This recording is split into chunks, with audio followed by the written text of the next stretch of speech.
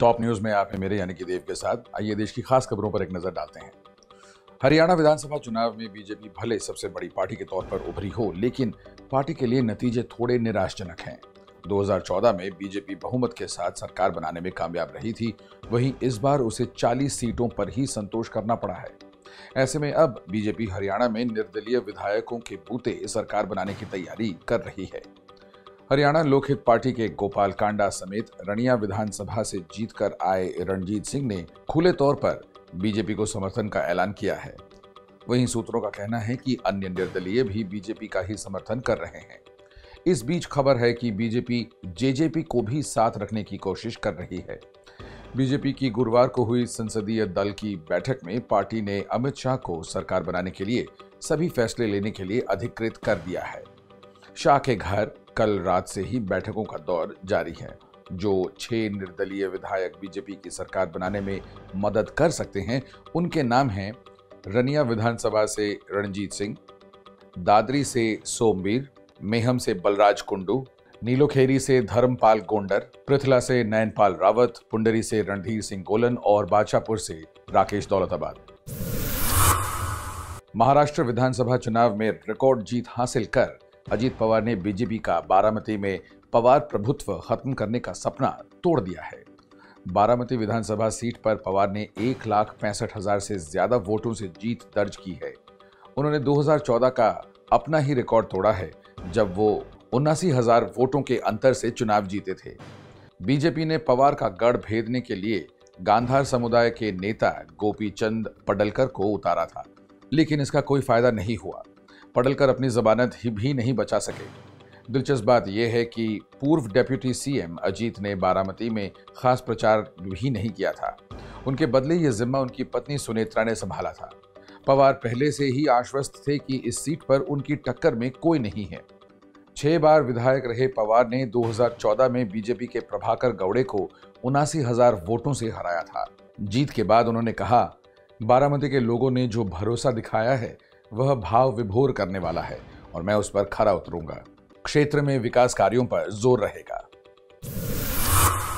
हरियाणा विधानसभा चुनाव में बीजेपी भले सबसे बड़ी पार्टी के तौर पर उभरी हो, लेकिन न तो बहुमत हासिल कर पाई है और न उसके मंत्रियों ने उम्मीद के मुताबिक प्रदर्शन किया। स्वास्थ्य मंत्री अनिल विज और बनवारी लाल को छोड़कर खट्टर सरकार के सभी मंत्री चुनाव हार गए हैं।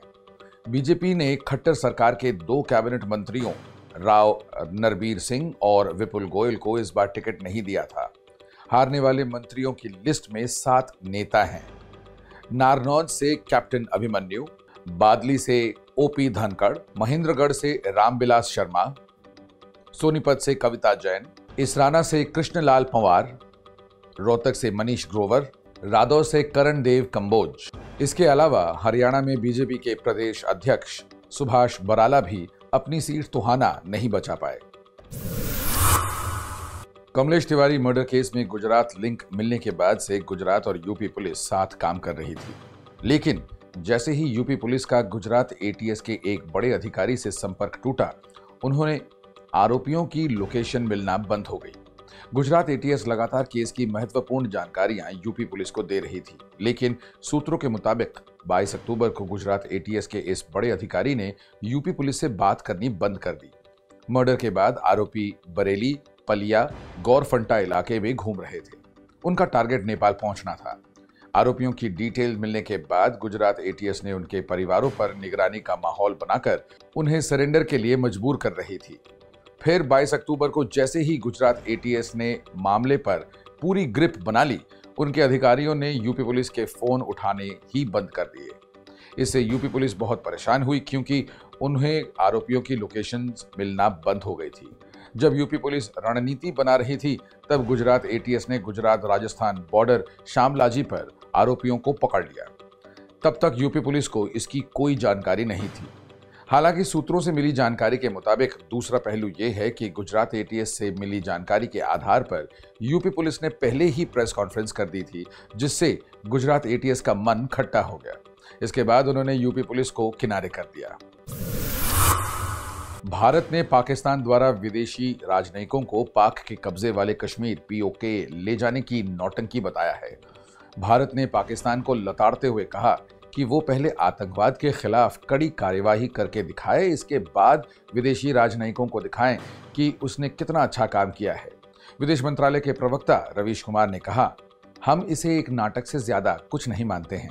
पाकिस्तान इस तरह का खुला दुष्प्रचार तब कर रहा है, जबकि पाकिस्तान अपने कब्जे वाले कश्मीर के लोगों से ही लड़ रहा है। इसलिए वो वास्तविकता से दूर एक दूसरी तस्वीर पेश करने की कोशिश कर रहा है।